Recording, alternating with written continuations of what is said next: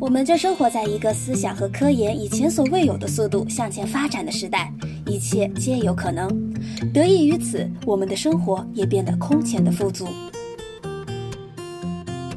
然而，地球却被我们当作原料开采地，仿佛自然资源是取之不尽、用之不竭的。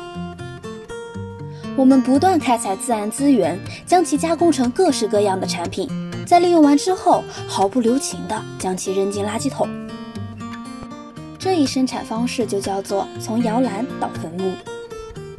不幸的是，这些产品在使用周期结束以后，被丢进了从来就不是垃圾处理厂的大自然，最终对动物、人类和环境都带来了致命的后果。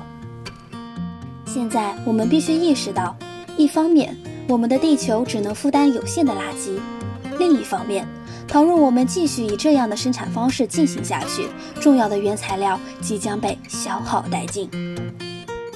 我们丢弃的不是垃圾，而是数量有限的珍贵的自然资源。它们一旦被耗尽丢弃，便一去不复返。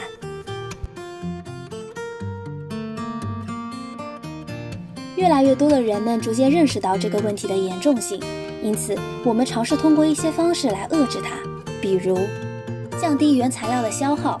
减少废物的产生，降低二氧化碳排放量，将零排放作为我们的长期目标。但是，零排放的目标真的能实现吗？事实上，作为生物，我们必然会带来排放。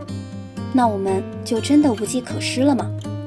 首先，让我们来看一看大自然是怎么做的。比如一棵樱桃树，当樱桃树美丽盛开时。它也消耗了大量的营养物质，至于零排放就更谈不上了。比如，它会排放出氧气，但氧气是生物赖以生存的物质；比如，它会产生枯叶，但这些枯叶并不被大自然当作垃圾，相反，它们能为其他生物提供养分。大自然告诉我们一个道理：一切物质都能被当作养料继续加以利用。垃圾只不过是放错位置的珍贵资源，因此我们应当以大自然为榜样，学习将我们的资源进行循环利用。这一理念也被称作“从摇篮到摇篮”。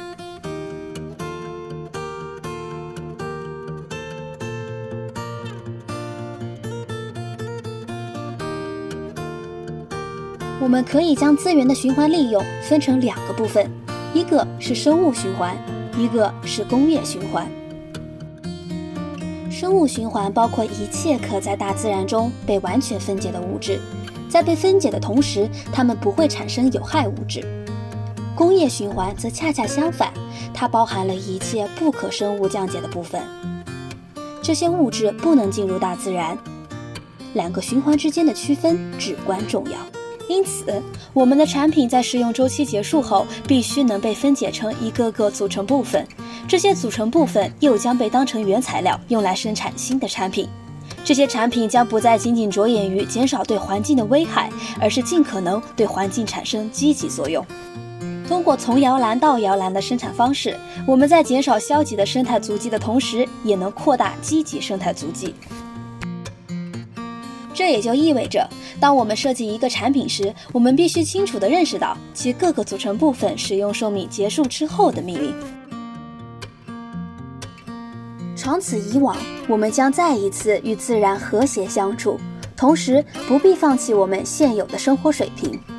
从摇篮到摇篮的思维和生产方式，给我们提供了这一可能性。让我们一起行动起来吧，践行从摇篮到摇篮这一理念。